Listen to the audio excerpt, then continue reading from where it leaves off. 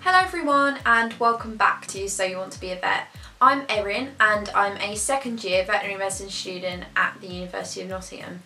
I'm also a Medic Mentor scholar along with Sophia if you want to find out a little bit more about Medic Mentor, then I'm going to leave some information up here at the end of the video and in the description box below. They offer so many different extracurricular opportunities to help you enhance your application to vet school.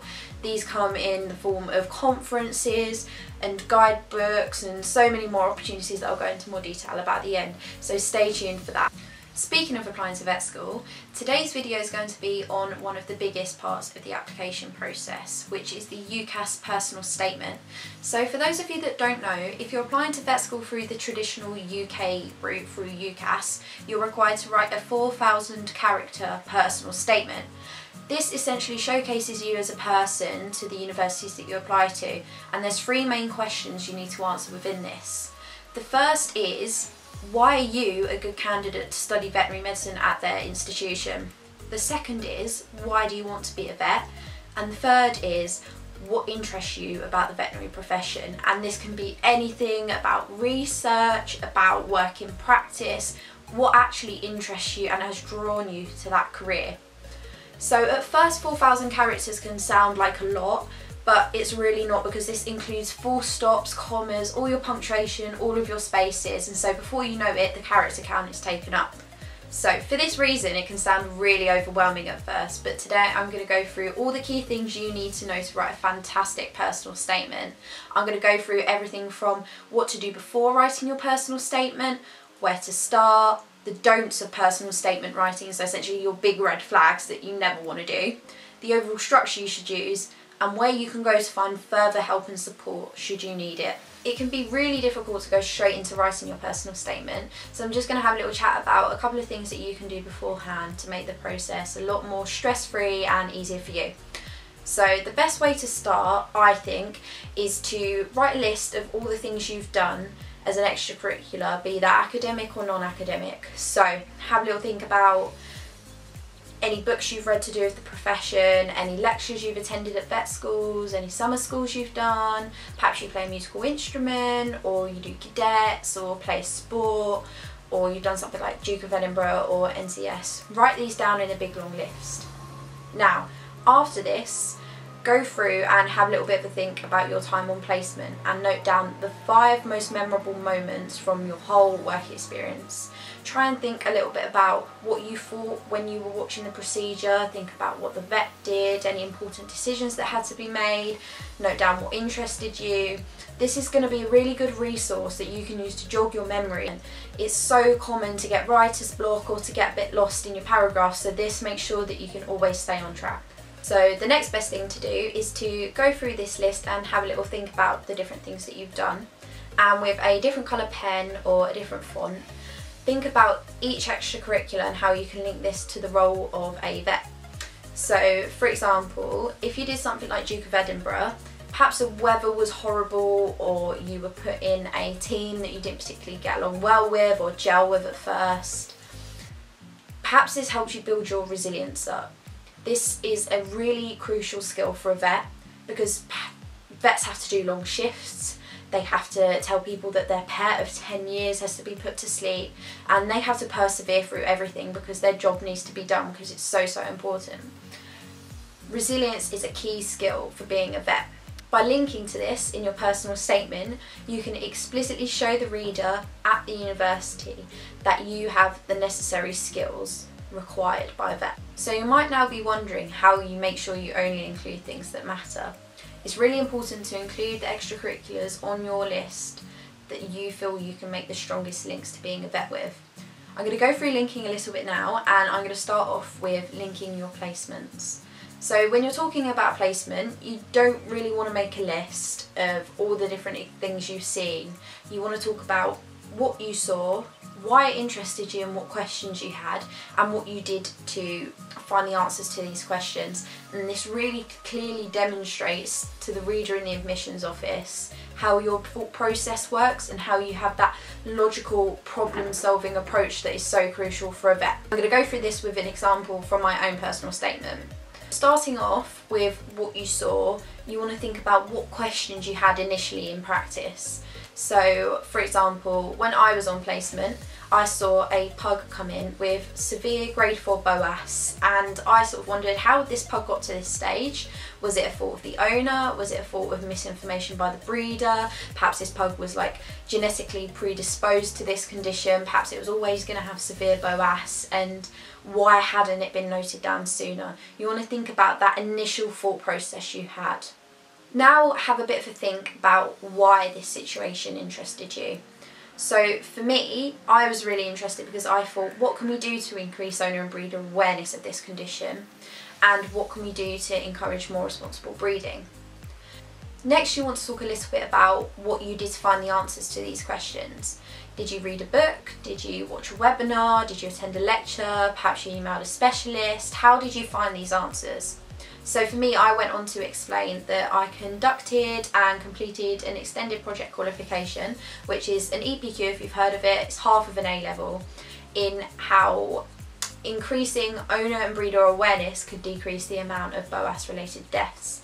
Um, this directly showed the reader of my personal statement that I was able to think in a way that was eliminative and I was able to solve problems and this will do the same for you if you link through your placement experience in this way. You only want to do this once so don't do it for all five of your experiences that you've written down.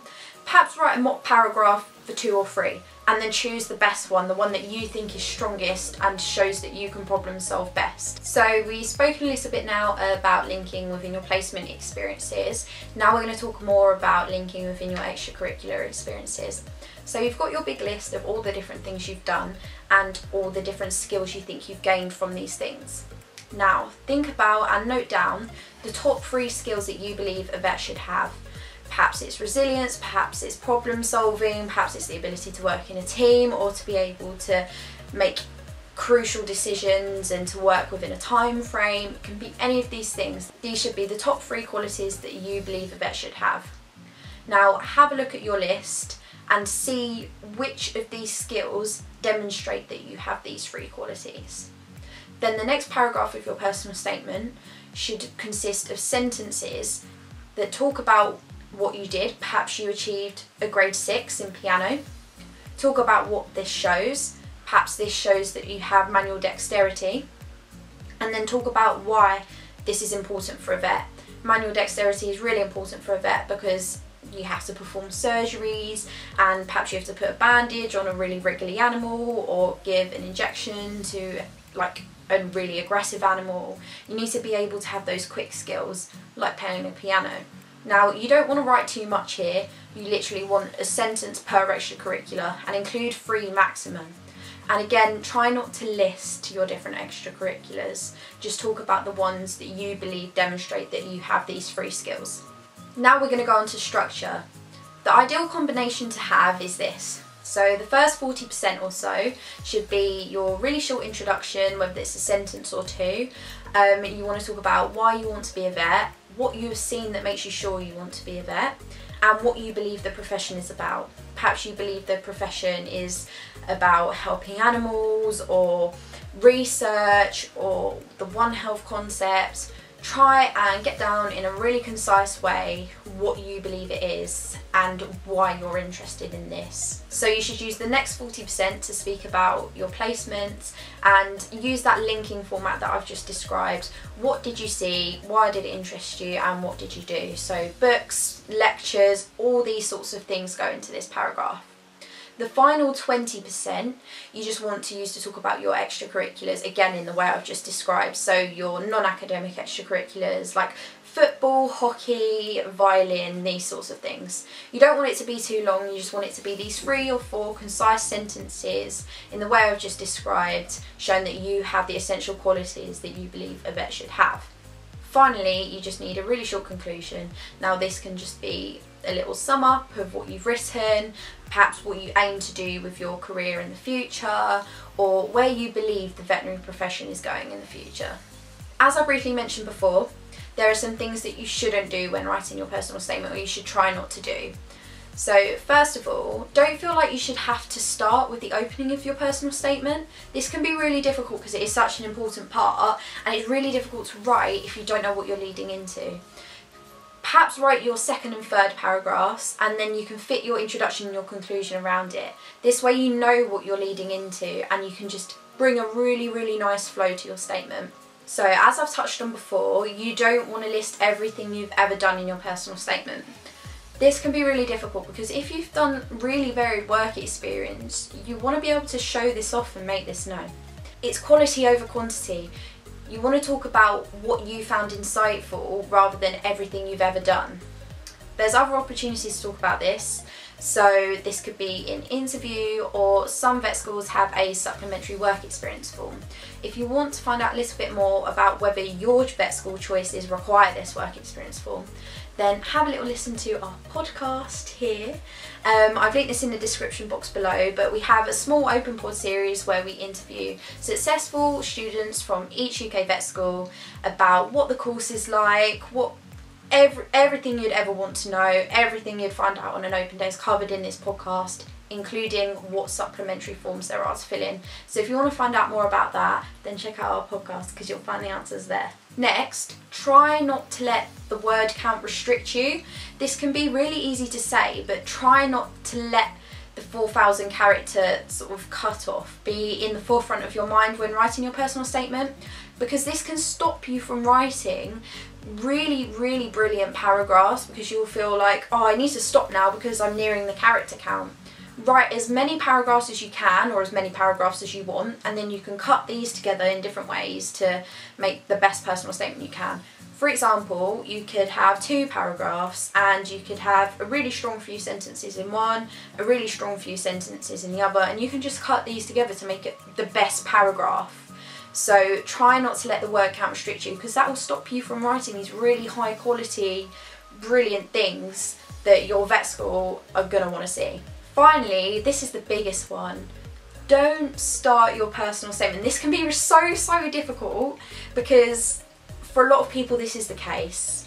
But don't start your personal statement by saying veterinary medicine is my passion or I love animals or ever since I was five or six or seven or whatever, I've wanted to be a vet because this is the case for so many people and this is such a common starter for personal statements and quite frankly admissions are going to see this you're not going to stand out and they're just going to put you into a different pile and it's going to be a no.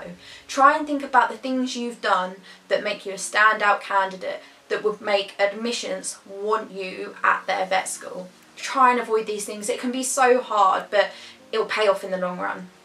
So we're coming to the end now. If you're wondering where you can go to get further help on personal statement writing, I'm going to signpost a few different resources and a few different places you can go for help here. Speak to vets on placement about what they did when they wrote their personal statement because they've been there, done that, written their personal statement, been to vet school and now they're doing the job you want to do. So they're a great, great place to go if you want to find out more about what they include in their personal statement. Then finally, try and give your personal statement to as many people as possible to read. Um, give it to your teachers, your parents, your carers, your siblings, friends. Get loads of different people to read it because they will give you really constructive criticism. Don't be afraid of the constructive criticism that they'll give you because this is the only way your personal statement is going to get better. I gave my personal statement to so many different people and I just said be brutal with it because I knew that was the only way my personal statement was going to go from really rubbish to the best one I could do. And that pretty much sums up everything you need to know on how to build a fantastic personal statement. Thank you so much for watching. Don't forget to check out Medic Mentor for more on how to get into medicine, veterinary medicine and dentistry. Again, as I said before, I'm going to leave some more information up here and in the description box below about them and the opportunities they offer. If you enjoyed this episode, then please subscribe and give us a thumbs up because then you'll be notified when Sophia posts the next video, which is going to be on the whole interview process for veterinary medicine. Don't forget to follow us on Instagram at So You Want to Be a Vet and check out our accompanying podcast series of the same name. Um, I've linked it down in the description below, but you can listen to this on Spotify, Google Podcasts, and Apple Podcasts. Leave any questions you might have in the comments below, and we'll do our best to get back to you. So, thank you so much again for watching, and I'll see you later. Bye!